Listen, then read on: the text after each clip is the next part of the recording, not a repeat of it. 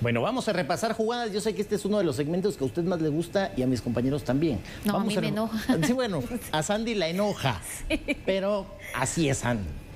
Vamos a repasar jugadas. enojada? Sí. Ah. No, no, déjala tranquila. Este es el partido de Comunicaciones y Sacachispas. Este es el gol anulado a Comunicaciones. Aquí detenemos la jugada. Bueno, no hay gol anulado, ¿verdad? Perdón, Se señala fuera de juego. hay un fuera de juego, sí. La jugada se tiene que invalidar aquí y todo lo que pasa después ya no cuenta. José Manuel Contreras se desprende del balón y ahí aparece su compañero, que es el que aparece en la posición adelantada y el árbitro así lo señala. ¿Para ustedes es? Fíjate que lo curioso es que Comunicaciones, aunque no es un parámetro, ¿verdad? Pero Comunicaciones no protesta.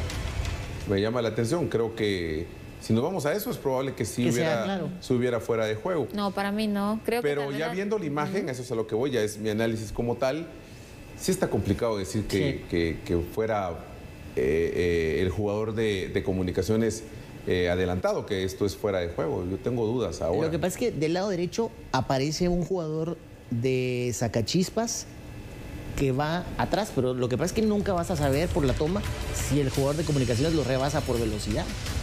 Sí, sí, la toma, la toma no nos da. Exacto. Eh, yo le preguntaba a Beto Andrino, nuestro compañero que fue a grabar el juego, yo le preguntaba, este, ¿crees que...? eh, no, me dice, yo creo que era, era fuera de juego, él se basa en eso, porque considero que, que incluso la gente de comunicaciones no protestó.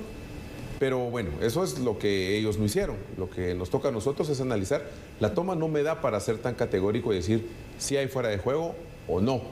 Sandy considera que probablemente no. Pero yo basándome en esta toma, que es la que yo tengo, eh, pues me quedan dudas. Pareciera que está bien la jugada de comunicaciones. Bueno, vamos a repasar otra. También es de este partido. Y es esta acción que tenemos aquí. Todo sucede en el área, nadie dice nada, el árbitro señala una falta ofensiva, pero más me parece a mí que si había una falta se la cometen aquí. Vean al jugador con el número 17 de Sacachispas, Sí, que sí, nunca sí. observa la pelota y va con el codo o brazo abierto, viendo al jugador de comunicaciones y lo termina obstruyendo y por eso el choque con el Para mí no hay nada, ¿sabes? ¿Crees? Para mí no hay Pero ahí nada. lo desbalanceó. A eso voy. Sí, pero no hay nada ni en contra del portero y no termina de darle al jugador de comunicaciones. Si le da, creo que el jugador crema al sentir el más mínimo contacto va Cae. al suelo. Sí, cae. Sí. Creo que no hace contacto el jugador de Sacachispas con la intención de frenarlo así utilizando el codo, ni tampoco hay falta sobre Padilla. Para mí no hay nada en esa jugada. ¿Usted, Sandy? Comparto con usted. Ahí estamos de acuerdo. Vamos a la otra, también en este juego. Y también se da acá. Para mí, aquí hay una falta del futbolista de comunicaciones. ¿Por qué? La pelota en la recepción de Ávila queda un poco más atrás. Pero ahí lo toma. Sí, sí. Pero no para que el otro suelte así un manotazo. Exacto. y Le el pone, árbitro. le pone la mano, le le pone pone, la mano el para brazo para, evitar el recorrido de él, pero el otro reacciona con un codazo. Pasa que no termina de dárselo. Mira. Ahí, ¿se da cuenta? O sea, Sí, suelta en el forcejeo. Sí, sí, sí. O quiere impactarlo con el brazo. Para mí era falta del futbolista de comunicaciones y el árbitro de frente deja seguir. De hecho, todos se quedan quietos, ¿sí ves? Sí, sí, sí. Bueno, Sí. vamos a otra de las acciones. Estas ya son de los partidos que se dieron hoy. Esta es una mano que se pedía, pero la pelota choca en el pecho del futbolista de Municipal. Sí. Sí. Le No es da- penal. no le dan el brazo, impacta en la zona que, que permite el reglamento utilizar. Y yo creo que, que no, que no hay, no hay mano. En esto estoy de acuerdo conmigo. Sí, no hay mano. Pero Vamos. se da cuenta usted de algo, el jugador de Iztapa no quería centrar. No, El jugador de Iztapa quería impactar el balón en el brazo del defensa municipal. y hace este movimiento el jugador rojo para sacar como el pecho. Para mí no hay mano, pero no quería levantar el balón. Quería impactarle el balón probablemente en el, en el brazo del defensor.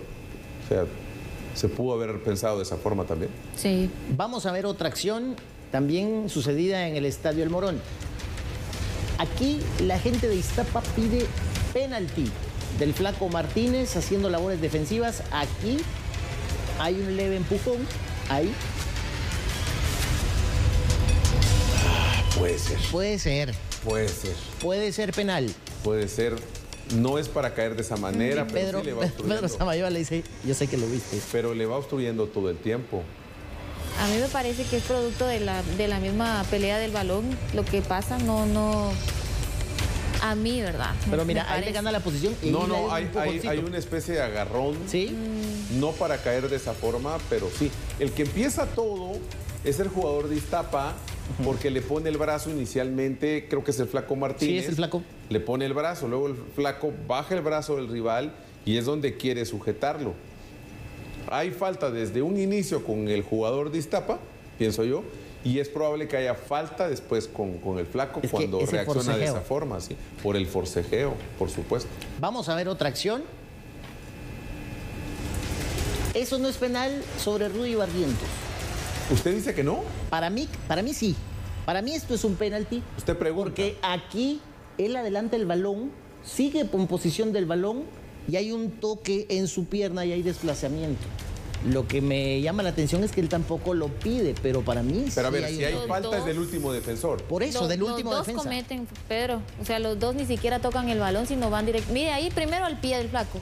Ah, de Rudy, perdón. Y, y el segundo, los dos sí. van al Para mí, si hay, fíjese, Sandy, es Sí. del, del segundo del defensor. segundo. no del pero hay dos faltas. Si yo la primera no logro ver dónde impacta, porque es que Rudy sigue. Donde él termina perdiendo el equilibrio es en el cruce del segundo defensor. Del Liceo Díaz, que es el que le termina Me parece tocando. que si hay contacto es del liceo, no tanto el primer defensor. Sí, es el segundo. Y, y pudo haber rozado la falta y que se marcara tiro desde el punto penal, Sí, claro. yo estoy de acuerdo. Para mí, un penalti de cada lado con el anterior y Bueno, en este. este, en- es que, a ver, los dos no terminan a mí de ser totalmente contundentes, porque es que no vemos en realidad un contacto real. Uno está aquí analizando por cómo es que llega primero, digamos, e- esa forma de empujarse entre el Flaco Martínez y el jugador de Iztapa en la anterior, y en esta, cómo Rudy termina cayendo porque es el cruce del segundo defensor. Pareciera que sí. Yo aquí sí no soy categórico en ninguno de los dos, pero pareciera que sí. Vamos a otra. Y esta también es eh, ocurrida en este juego. Para mí con la mano. Ah, no, esta, esta. Total. Esta ni polémica es. Sí. Esta es mano. Para mí con la mano y detenemos ahí la jugada por el tema de que por un movimiento natural del balón, digo, me refiero a natural por la manera en que la pelota pega en el travesaño y cae sobre el cuerpo, se desliza sobre el brazo. Sí, pero a ver, si, si el balón se desliza en el brazo y toma dirección a portería, es mano. Por Por, supuesto. supuesto. Y debe marcarse. Sí, que si es accidental o no. No, ahí no cuenta. Claro que no, porque es que eh, el balón está pegando en la mano. A ver, estamos hablando que es mano qué? Ofensiva. Esas se marcan. Exacto. No es defensiva, a la cual hay una consideración mayor. Es mano.